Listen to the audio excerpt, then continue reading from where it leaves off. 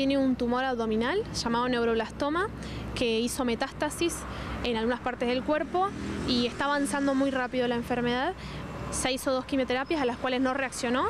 Van a hacerle unas más fuertes, esperando a que el tratamiento funcione para poder llegar a cirugía y los otros demás pasos que necesitamos. Ella es una paciente de alto riesgo.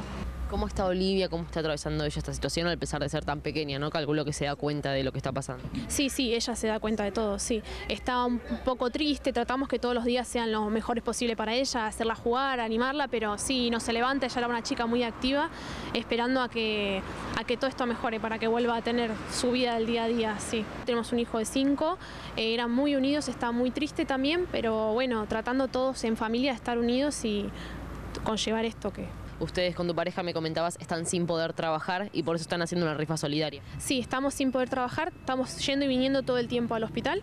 Eh, sí, estamos haciendo una rifa porque estamos construyendo nuestra casa ya que no conseguimos un alquiler, la casa donde vivíamos se vendió. Eh, estamos haciendo esta rifa para poder recolectar materiales de construcción y todo lo necesario para poder ambientar la casa para como ella pueda vivir porque está propensa a agarrar una infección todo el tiempo.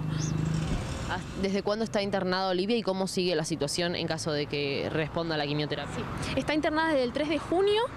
Si ella llegara a responder bien a la quimioterapia, va a hacer tratamientos ambulatorios. Vendría 5 o 6 días acá a hacerse la quimioterapia y volvería a su casa. Va a hacer tres ciclos de quimio con 21 días de diferencia cada uno y se haría la cirugía. Y después haría radioterapia y autotrasplante de médula ósea. Es todo el proyecto que tienen en ella para poder tratar de curar la enfermedad a quienes quieran ayudarte, a vos y a tu familia, ¿de qué forma pueden hacer? Sí, tenemos un alias que es rifa.olivia.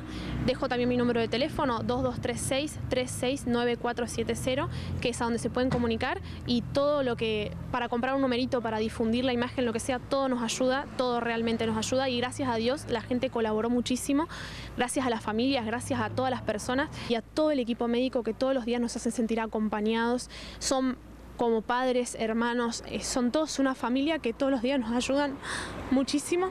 Las enfermeras, eh, estamos muy acompañados a pesar de toda la gravedad. Es lo que más necesitan para que la salud de Olivia mejore y para que ustedes como familia puedan estar bien.